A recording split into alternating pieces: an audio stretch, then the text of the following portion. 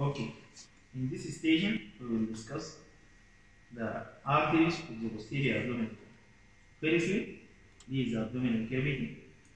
Okay, this is the pelvic cavity. This is the upper part of the abdomen. This is the left side of the body, and this is the right side of the body. Okay. Then we would like to reflect this square of the or the lobes of the intestine to the right in order to visualize the central vascular structures. Okay, this is the pancreas. We cut it here in the neck of the pancreas in order to visualize the posterior structure. They reflect it laterally. Okay, then you can see clearly these two longitudinal vascular structures.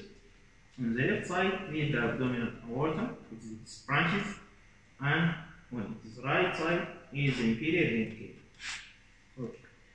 Regarding the abdominal aorta, it comes from the thoracic region to the abdominal region behind this structure. This is called the median arcuate ligament. Okay.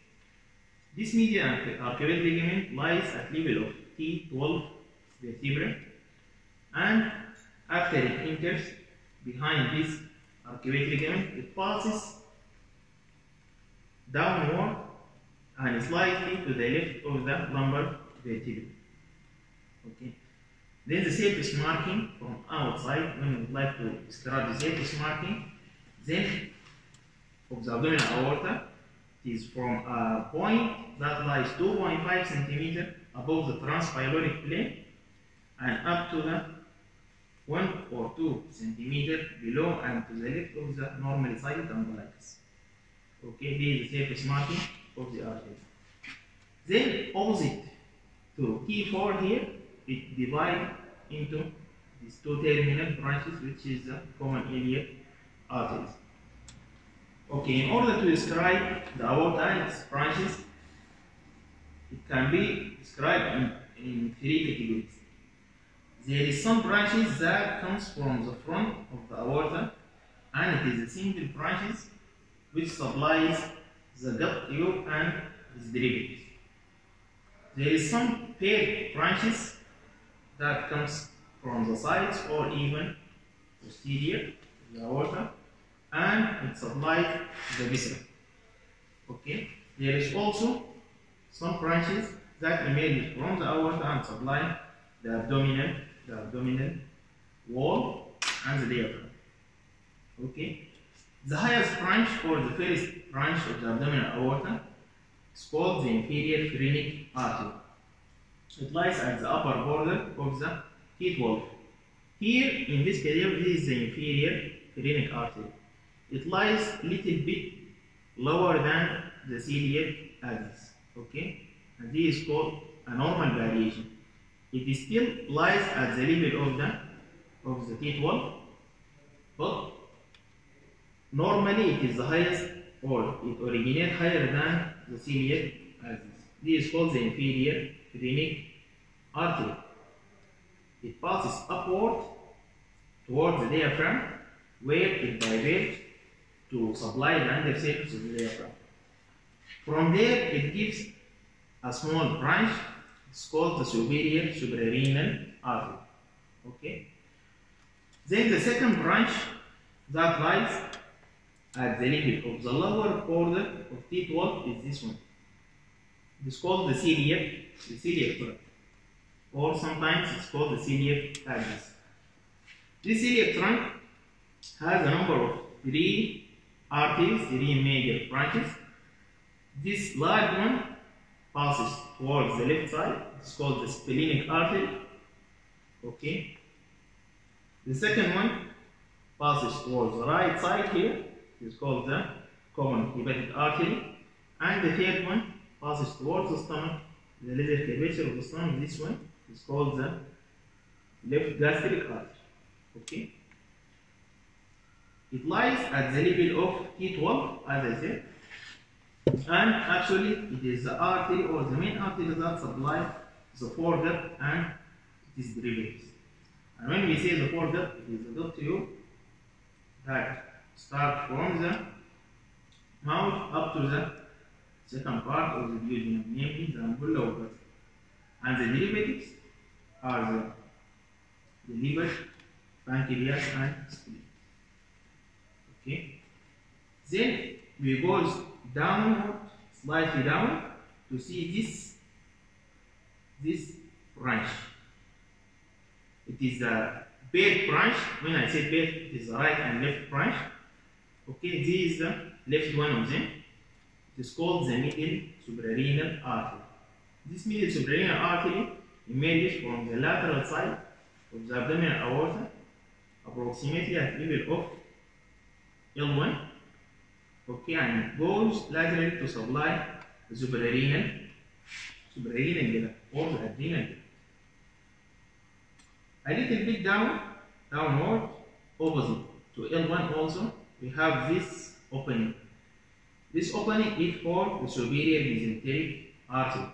It lies at the level of L1. Okay? Actually here it is cut due to the effect of tear and wear. Here is the superior mesenteric artery. Okay? As you can see. Actually the superior mesenteric artery it is the artery of the midgut. And when we say the midgut, is the area from the second part of the duodenum, namely the area of the of Vater, up to the junction between the medial two third or the right two and the lateral or the left one third of the transverse colon. It supplies all these structures. Okay?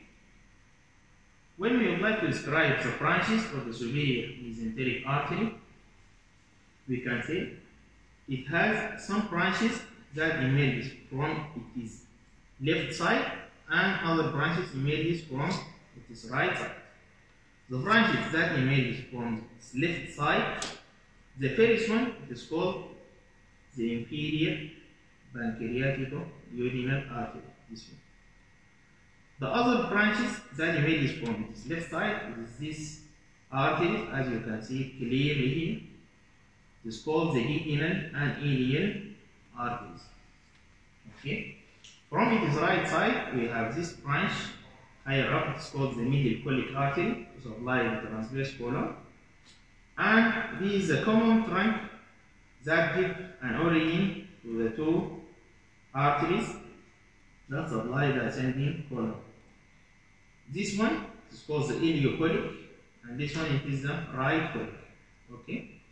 And as you can see here, this is ileocolic and this is the cecum. Okay. It is a, a little bit demonstrate like this. This is the right colic and this is the ileocolic artery. And the ileocolic gives where the branches the ventricular artery to the adults. Okay. This is a superior mesenteric artery. Then we go downward, further downward to see this branch. Okay, on each side. On the right side, because the inferior vena cava is present, we cannot visualize the structure that lies behind. But we can see it here clearly on the left side. This is the renal artery. This is the left renal artery. It emerges from the lateral aspect of the abdominal aorta at level of T2. Okay?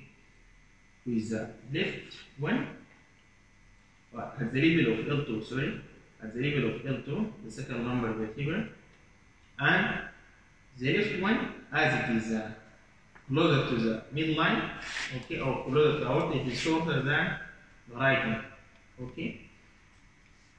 Then we have a little bit downward this branch, okay. This is called the gonadal artery. In male, is the testicular artery, and in female, it is the ovarian artery. It emerges from the anterolateral aspect of the abdominal aorta in any anywhere between the, the renal arteries and the origin of the inferior mesenteric artery. Anywhere between L2 and L, L3. Okay?